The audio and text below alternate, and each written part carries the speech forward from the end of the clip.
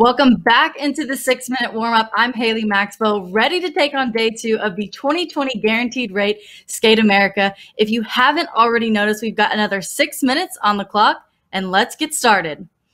It's great to finally say that skating is back. Yesterday was really a rush for everyone involved and really everything we had hoped for and more with a high level of skating, great camaraderie. And, you know, without getting into too much detail, let's check out some highlights from yesterday.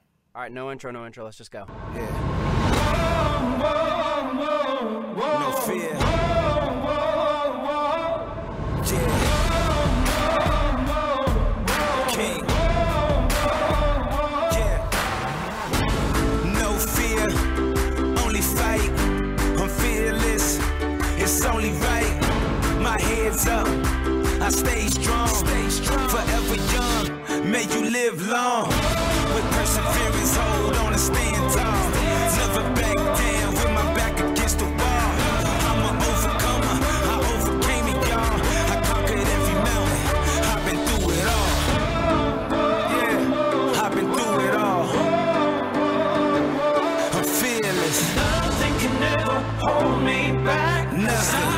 Unstoppable. I'm unstoppable. I unstoppable. am fearless. I'm fearless. I am Yeah, fearless. I'm fearless. I am fearless.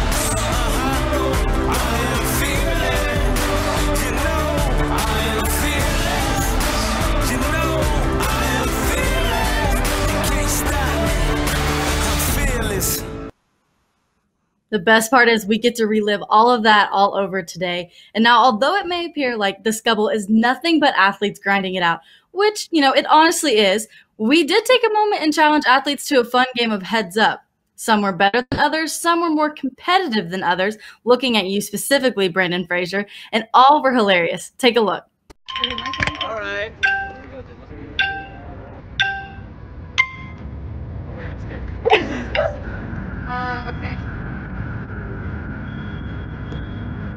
Dueling or whatever that's called. Stirring an egg. A heart? Ah, no. Oh, okay. Okay. Uh, Oh, driving a bus, catching a bus, getting a taxi. Snipping flowers. Picking flowers. Giving CPR.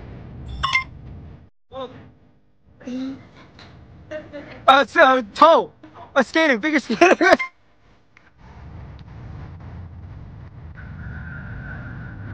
DJ.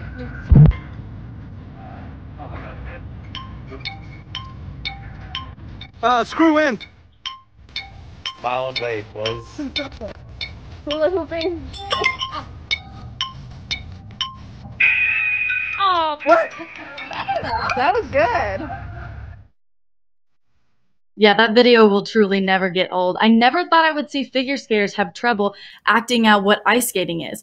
It's a good thing they can figure skate because they have not much of a future of a heads up career. And our production staff had such a great time filming this with the athletes. And well, if you haven't already noticed, the theme for this event for really everyone across the board is new. And it's changed in almost every single aspect. You know, no coaches in the kiss and cry, no fans in the stands, and obviously so much more. And if you're wondering if you're going to see another infamous Nathan Chen award ceremony blunder, just like this one right here. Honestly, it's a great moment. We are sad to report that it won't be happening. Athletes who medaled this evening will be picking up and placing their own medals on themselves backstage. But don't worry, you'll still be able to relish in the moment with these top skaters at this event. Stay right here on our social channels and we'll keep you completely up to date.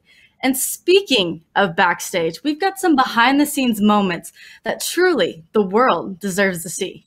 One of the little girls at the ice rink, uh, she came up to me like the last day of practice, and she was like, "Here, I made this for you," and it's uh, it's just a little good luck charm, and uh, cat's coming with.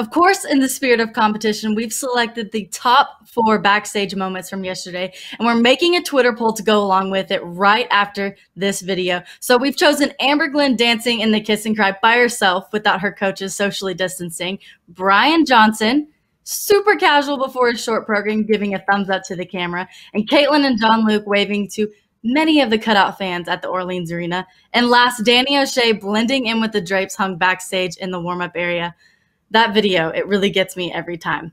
And that was another quick six minutes. Be sure to head to our Twitter to vote on what your va- favorite backstage moment is. And that wraps up this episode of the six minute warm up. Remember, the ice desk will be live throughout the day again today on the US Figure Skating Fan Zone. And be sure to check out the virtual fan experience also on the Fan Zone. And stay safe.